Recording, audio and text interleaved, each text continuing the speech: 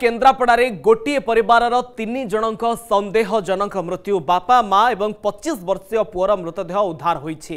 ରାଜନଗର ତାଳଚୁଆ ପଞ୍ଚାୟତ ରାଜେନ୍ଦ୍ର ନଗରରେ ଚାଞ୍ଚଲ୍ୟ ଖେଳିଯାଇଛି। ବାପାଙ୍କର ମୃତଦେହ ଘର ବାହାର ପଟୁ ଝୁଲନ୍ତା ଅବସ୍ଥାରେ ଉଦ୍ଧାର ହୋଇଛି। ଘର ଭିତରେ ପଡ଼ିଛି ମା ଓ ପୁଅଙ୍କ ମୃତଦେହ।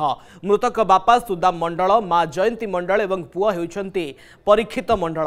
ମୃତ୍ୟୁର କାରଣ ଅସ୍ପଷ୍ଟ ରହିଥିବା ବେଳେ ମା ପୁଅର ପାଟିରୁ ଫେଣ ବାହାରିଥିବା ରୁ ବିଷ ପିଇଥିବା ସନ୍ଦେହ କରାଯାଉଛି। ଘଟଣାସ୍ଥଳରେ ପୋଲିସ ମାଜିଷ୍ଟ୍ରେଟ ପହଞ୍ଚି ଛାନଭିନ୍ ଚଳାଇଛନ୍ତି।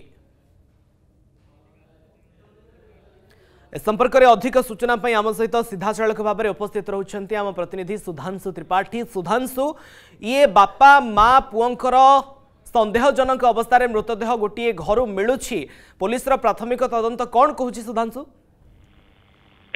ଦେଖନ୍ତୁ ରଶ୍ମି ରଞ୍ଜନ ଅ, ସମଗ୍ର ରାଜନଗର ଯୋଉ ତାଳଚୁଆ ଅଞ୍ଚଳ ତାଳଚୁଆ ଅଞ୍ଚଳରେ ଆଜି ଏକ ଦୁଃଖଦ ଆଉ ଖବର ଘଟି ଯାଇଛି ଅ, ରାଜେନ୍ଦ୍ର ନଗର ତାଳଚୁଆ ଅଞ୍ଚଳ ଯୋଉ ରାଜେନ୍ଦ୍ର ନଗର ଅଛି ସେ ରାଜେନ୍ଦ୍ର ନଗର ଗୋଟିଏ ପରିବାରର ତିନି ଜଣଙ୍କର ମୃତଦେହ ସନ୍ଦେହଜନକ ଅବସ୍ଥାରେ ମିଳିଛି।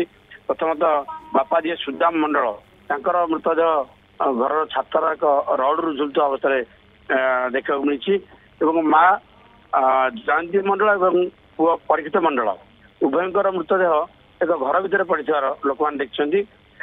ସୁଦାମ ମଣ୍ଡଳର ଯୋଉ ମୃତଦେହ ଯେତେବେଳେ ଝୁଲୁଥିଲା ତାକୁ ଦେଖିଲା ପରେ ସ୍ଥାନୀୟ ଲୋକମାନେ ପୋଲିସକୁ ମଧ୍ୟ ଖବର ଦେଇଥିଲେ। ପୋଲିସ ଆସିଲା ପରେ ଘର ଭିତରେ ଥିବା ମୃତଦେହ ଦୁଇଟିକୁ କବାଟ ଖୋଲି ଦେଖିବାରୁ ସେଥିରୁ ମୃତଦେହ ଦୁଇଟିରୁ ଅ, ପାଟିରୁ ଫେଣ ବାହାରୁଥିବାର ଦେଖିଥିଲେ ତ ଯାହା ସନ୍ଦେହ କରାଯାଉଛି ଯେ ଘର ଭିତରେ ଯୋଉ ମା ଓ ପୁଅର ଯୋଉ ମୃତଦେହ ଅଛି ତାହା ସେମାନେ ବିଷପାନ କରିଛନ୍ତି। ବିଷପାନ କରି ତାଙ୍କ ମୃତ୍ୟୁ ଘଟିବା ଜଣା ପଡୁଛି କାରଣ ତାଙ୍କ ପାଟିରୁ ଫେଣ ବାହାରୁଛି। କିନ୍ତୁ ସୁଧାଂଶୁ ତାଙ୍କ ପାଖ ପଡୋଶୀଙ୍କର କିଛି ପ୍ରତିକ୍ରିୟା ଆସୁଛି କେ ବାବଦରେ ପୋଲିସଙ୍କର ପ୍ରତିକ୍ରିୟା ହେଉ କିମ୍ବା ତାଙ୍କ ସମ୍ପର୍କୀୟଙ୍କର କିଛି ପ୍ରତିକ୍ରିୟା ହେଉ ଯେ ତାଙ୍କ ପରିବାର ଭିତରେ କୌଣସି ବିବାଦ ରହିଥିଲା କି ଏଭଳି କିଛି ପ୍ରତିକ୍ରିୟା ଆସୁଛି କି?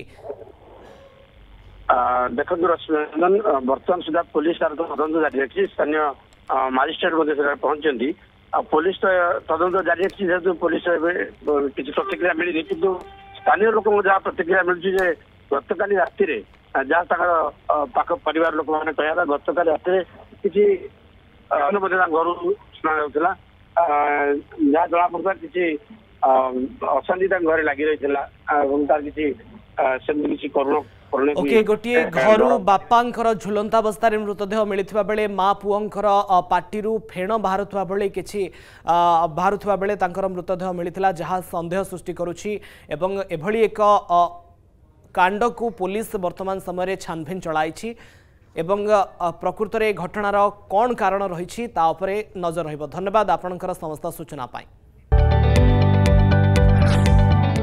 जदि आपण को आम भिडी भल लगा तेब आम चेल्क लाइक सेयार और सब्सक्राइब करने को जमा भी बुलां नहीं।